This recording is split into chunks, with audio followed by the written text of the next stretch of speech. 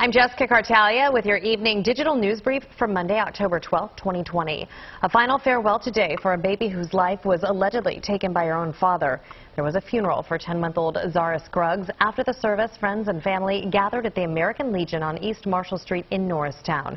Little Zara died last week after prosecutors say that her father, Austin Stevens, sexually assaulted and then killed her.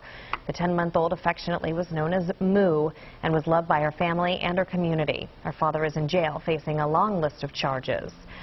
A Philadelphia man is expected to be okay after getting stuck in a trash chute overnight. The incident happened at the Watermark Retirement Community on Franklintown Boulevard in Logan Square.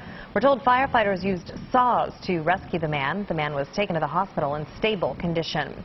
A boil water advisory is in effect for Norristown and some surrounding communities due to a water main break. Eyewitness News was on the scene of that break today at East Marshall and Markley Streets in Norristown. Pennsylvania American Water says that the main break caused a drop in pressure, meaning that the water might be contaminated. The advisory affects Norristown and Bridgeport as well as some customers in surrounding communities. For more information, check out cbsphilly.com. In Philadelphia, all city buildings and services are closed for Columbus Day. A lot of people are wondering why the city still observes the holiday, especially since over the summer the city boxed up the Christopher Columbus statue in South Philly. Well, it turns out that all city holidays are tied to the collective bargaining agreement made between the mayor's office and the city's four municipal unions. All the unions and the mayor's office would have to agree to a change. The current contract expires in June, so it's possible this could be the last Columbus Day in Philadelphia.